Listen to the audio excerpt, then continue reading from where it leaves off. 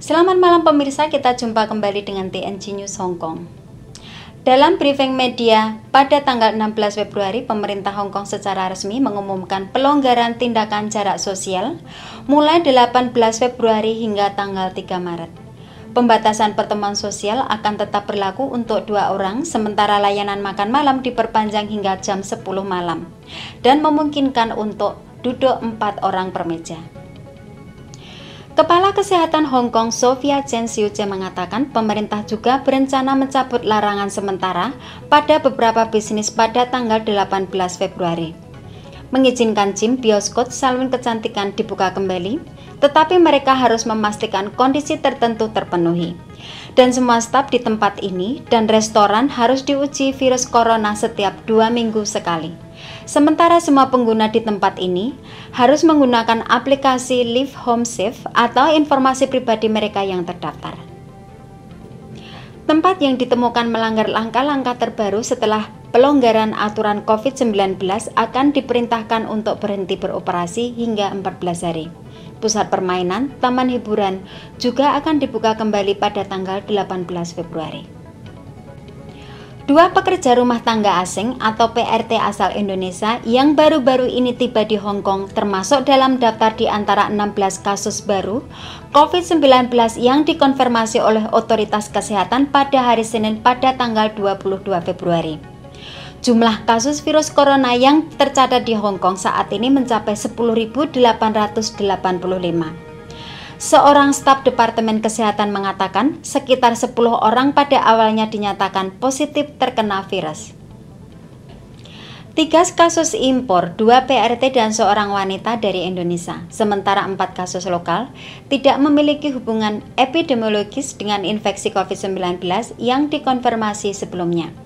Staf Departemen Kesehatan Pekerja Rumah Tangga ini berusia 22 dan 45 tahun.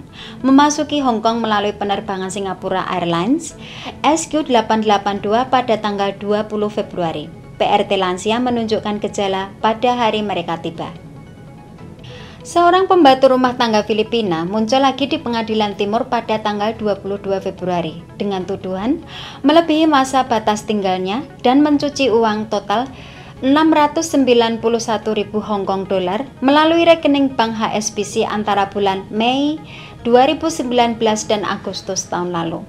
Pengadilan diberitahu bahwa polisi Hong Kong melakukan penyelidikan terhadap akun Grace Hope Vargas yang dulu bekerja sebagai rumah tangga dan setelah transfer yang mencurigakan dan akunnya terdeteksi. Menurut dakwaan, uang itu disimpan dan ditarik oleh orang yang tidak dikenal di akun ATM yang dibuka Vargas di Hong Kong and Shanghai Bank Corporation pada awal 2019.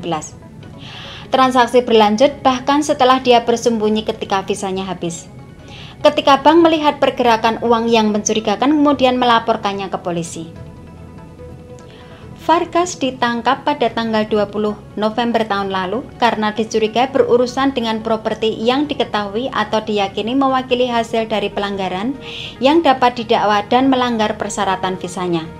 Jaksa penuntut mengatakan dakwaan melebihi batas waktu akibat kegagalannya meninggalkan Hong Kong setelah visanya kedaluarsa pada 10 Maret tahun lalu, menyusul pemecatan dini dari pekerjaan bulan sebelumnya.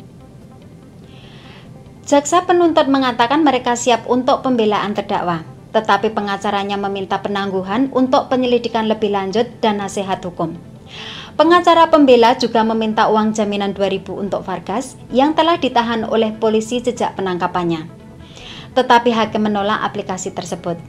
Hakim menunda kasus tersebut hingga 9 April dan memerintahkan terdakwa untuk ditahan.